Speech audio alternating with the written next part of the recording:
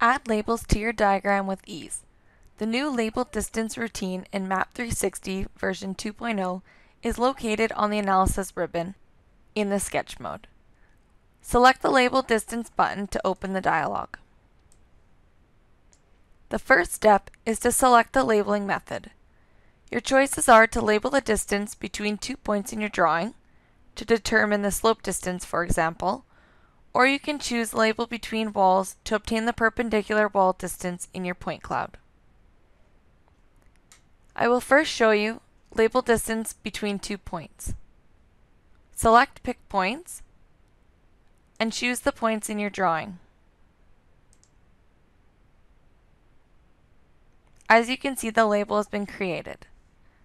We can then check the boxes to include the draw and label elements in your drawing. A plane will only be drawn when using the label between walls method. We'll include the horizontal and vertical lines as well and select apply.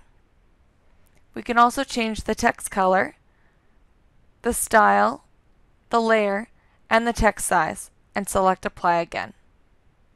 Once you are happy with your label, select OK and the dialog will close and the label will be drawn with the applied changes.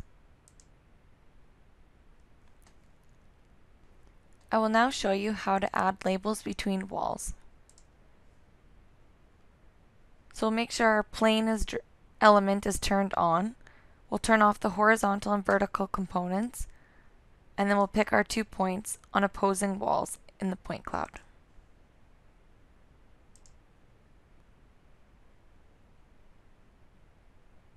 Once again, you can update the text color, the text size, the style and layer, and apply those changes. And once you're happy with that label, select OK and the label will be drawn for you.